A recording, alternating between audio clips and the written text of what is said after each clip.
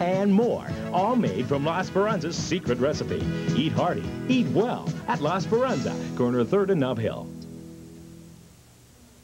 At Payless Pharmacy, you'll find that our prescription prices are low and that our hours make it more convenient for you to get a prescription filled seven days a week. Even with our low prices, we offer an additional 10% discount on prescriptions for senior citizens because we realize how expensive health care can be. We carry over 250 generic drug products. Generics must be chemically and therapeutically identical to brand name drugs. Also, great savings on other health care needs. It's just another way to show that we care. A horse is a horse unless, of course, you cross one with a donkey. Then it's a mule. Organizers of the first ever Mule Days in Yakima want, want, wanted spectators today to know that a mule is an animal in its own right. More than 50 mules from Oregon, Idaho, and Washington made their home at the Central Washington State Fairgrounds for the weekend to put on a public exhibition. Show director Roger Harrison says mules are becoming popular as working animals, particularly in the Southwest. Today's show is designed to erase the stereotype of the stubborn old mule. It just takes more training and more time to do it with a mule. They're uh, very good in the mountains. They're extremely sure-footed, uh, and they have a high degree of intelligence.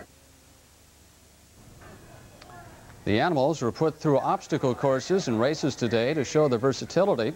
The show will continue through tomorrow at the fairgrounds.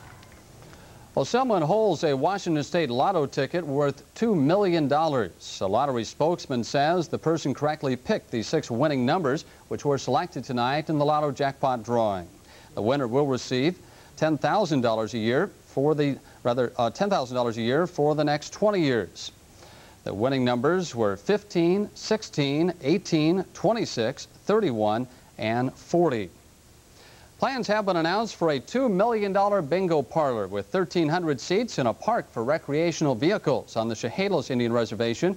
A California developer says all the required paperwork has been completed.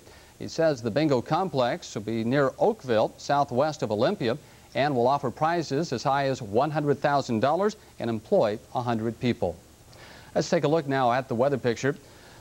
We currently have cloudy skies with occasional showers. The temperature is 55, winds out of the southeast at 8. Today's high 71, the overnight low 52.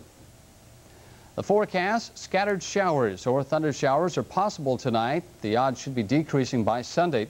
Highs will be 70 to 75 and lows 50 to 55. Winds will be westerly at 5 to 15 and the chance of precipitation is at 40 percent. At news time, it was raining in Seattle, 58 degrees. Light rain falling in Spokane and 57. High clouds over Portland, 58. It was cloudy in the Tri-Cities, 59. Cloudy also in Wenatchee and 60 degrees. And rain was falling in Walla Walla and a reading of 56. That's our report for tonight. We thank you for watching and enjoy the rest of the weekend. Good night.